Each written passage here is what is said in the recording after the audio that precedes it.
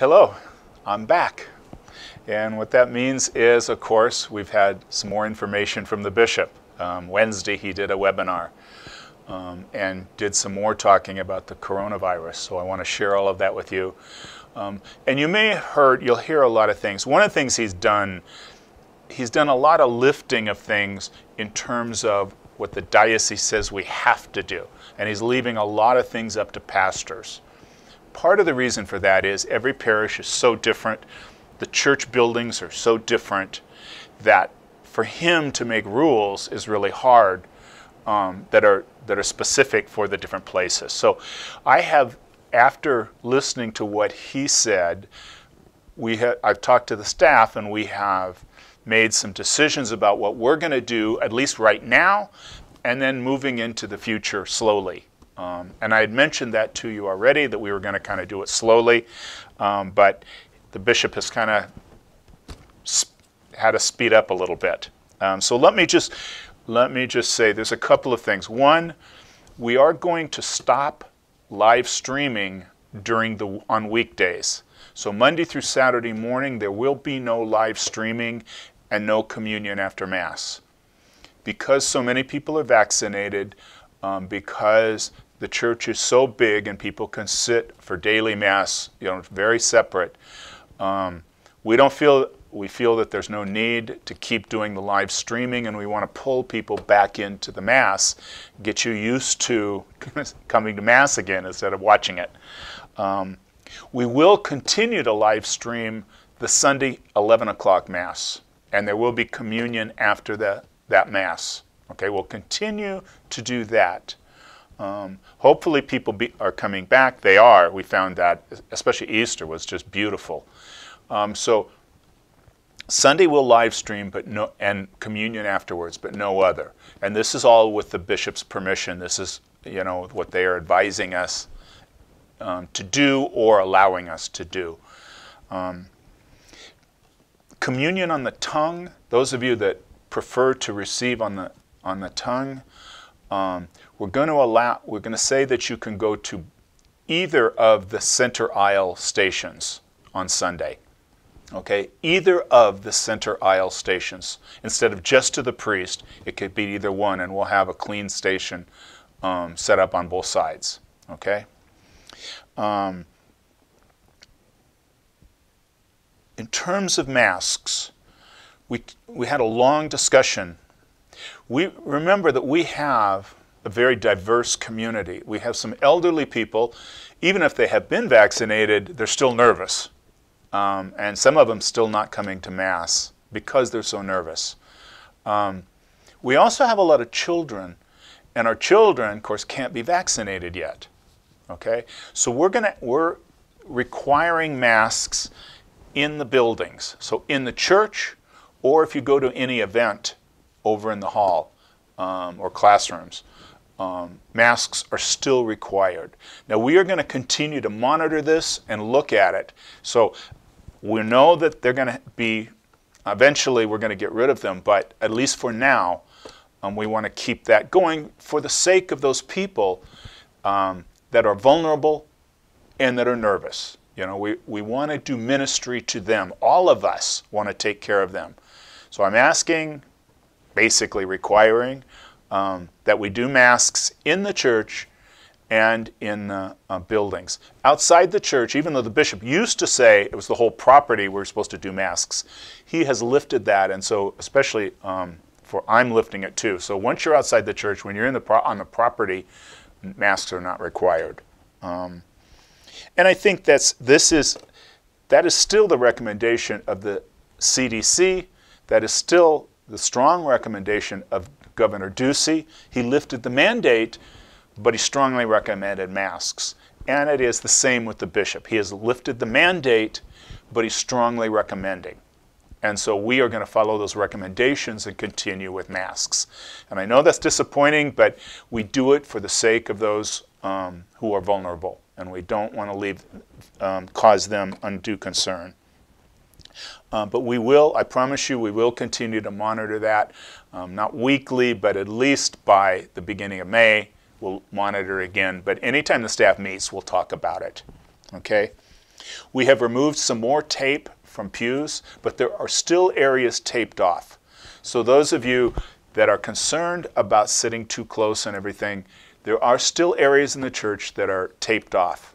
And um, so you can find those areas. And yet there are areas where, even though we want you to be careful um, in terms of physical distancing, family groups and, and neighbors and people who, who are together a lot may be sitting together. And we're seeing that already.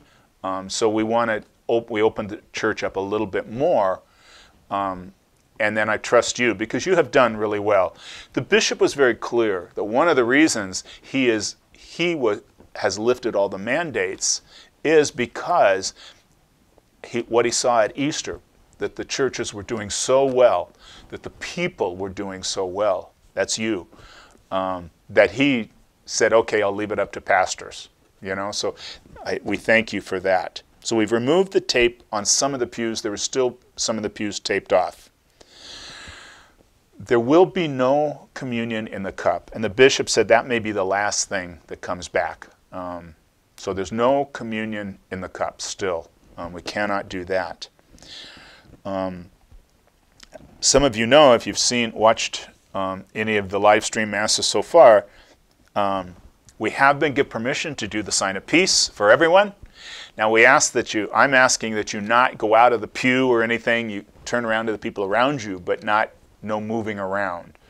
Um, but we are do, already doing the sign of peace, um, which is really nice.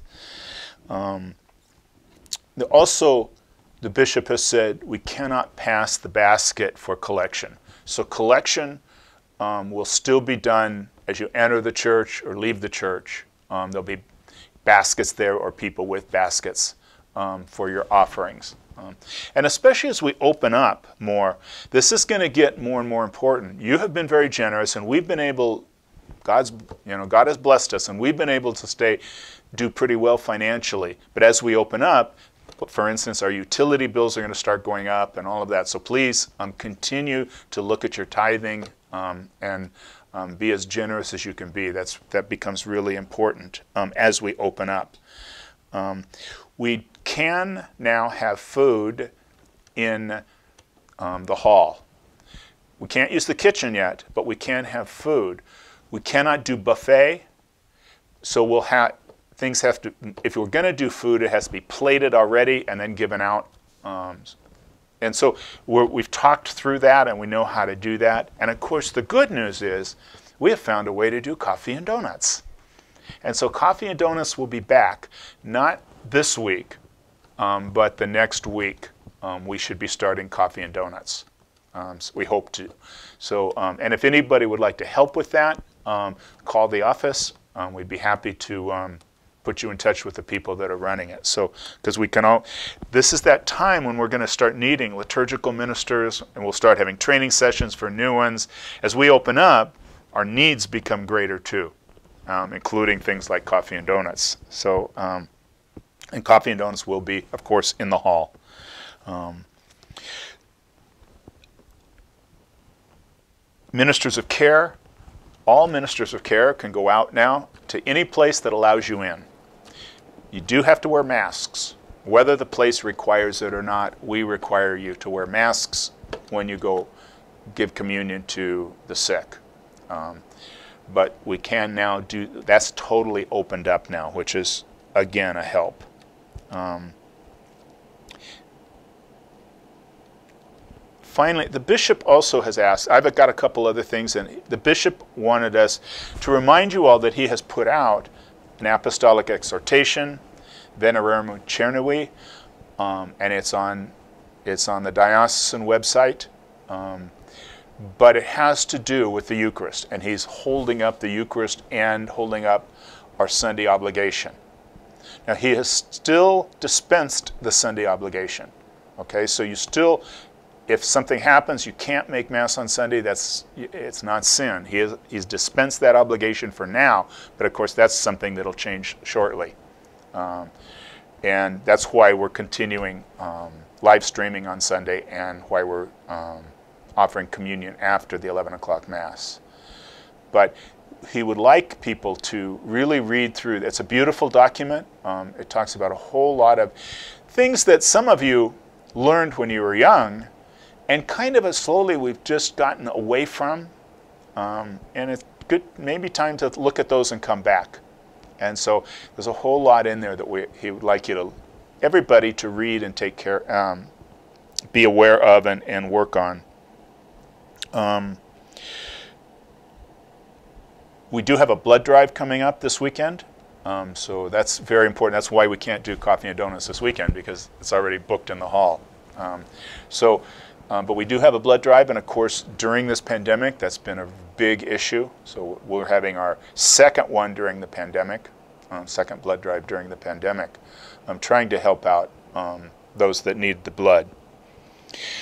One of the things we have planned in terms of welcoming people back, one of the things we've gone through is, and, and I, having been with you, many of you have lost loved ones during the pandemic, whether through the coronavirus or through other causes. Okay, but for a while there, we couldn't have funerals of more than 10 people, and then that got expanded some. But funerals were so limited, and I know some of you don't even know that some of our parishioners have died. You know, and so we plan, we're planning on having a memorial mass for all who have died, coronavirus or not. Um, and we're planning, right now we're planning it on May 8th. It'll be a Saturday morning um, at 11 o'clock.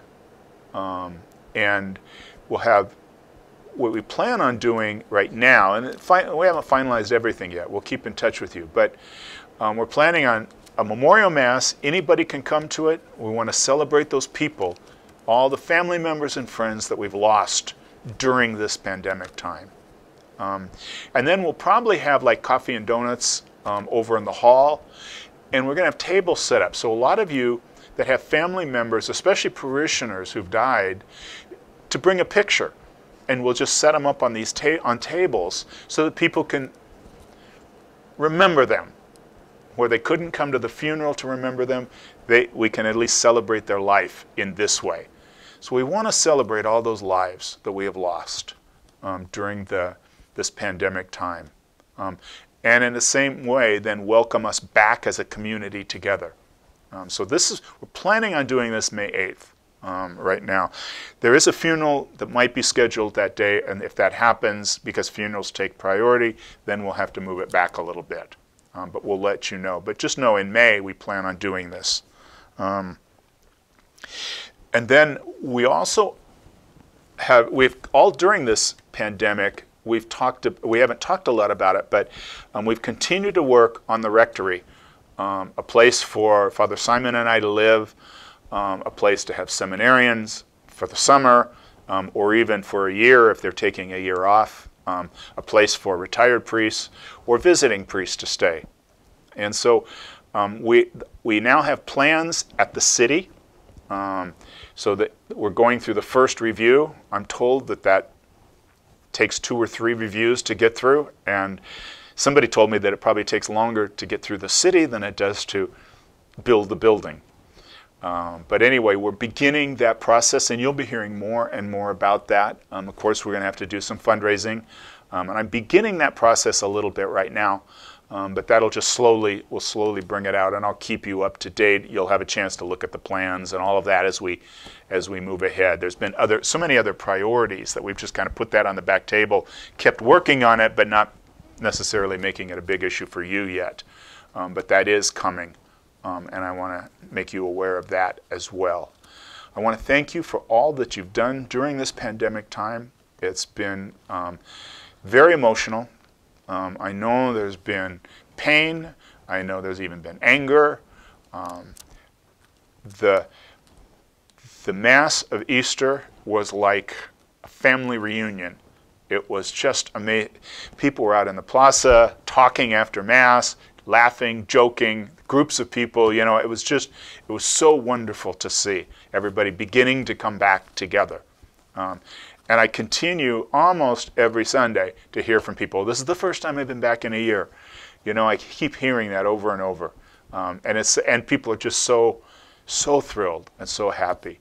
Those of you that are not back yet, I understand. Please know that we're doing everything we can to make it comfortable for you, to make it safe for you. We continue to sanitize the church.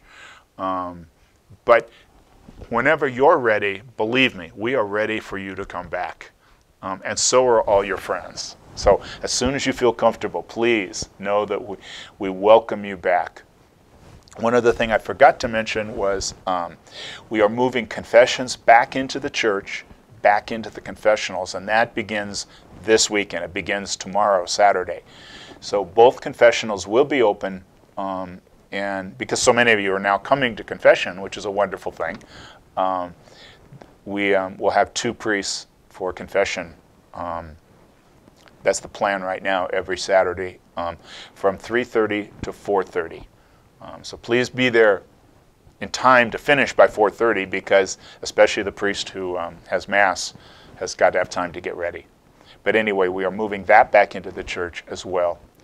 We are not doing holy water on the side, the little holy water fonts on the side doors yet.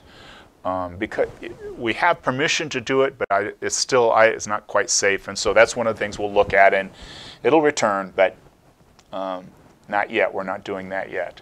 So there's a number of issues still ahead of us, um, but the end is not just in sight. We're beginning to experience the end. Um, I hope that you're all getting vaccinated. Um, if you're open to that, um, it really does help us open up. Um, and we'll begin to develop whatever the new normal, that's a new phrase now, the new normal. Um, whatever that new normal is going to be, um, that's, we're beginning to realize what that is in development. Um, so thank you very much. I want to thank the staff um, because they're so helpful, the parish council, the finance council during this whole time. Both have been just incredible um, as guides for me. Um, so um, I tell everybody, I, this is not all about me. The decisions are all not about what I think and feel, but it's I get a lot of input, and that's that's really important from those three organizations or those three boards the staff, the parish council, and the finance council. So I really want to thank them. And I hope that we can all celebrate together soon. Um, I look forward to seeing you all again. And when I say I look forward to seeing you all again, I just don't mean in the building. I mean in the building without masks where I can begin to recognize you. I've been joking with people, with some friends even, that I was here for a few months and just beginning to get to know people. And then everybody started walking around like this. I didn't know who anybody was again. So it'd be great to start getting to know you all again in reality. Take care. God bless. Know that you're all in our prayers. Thank you.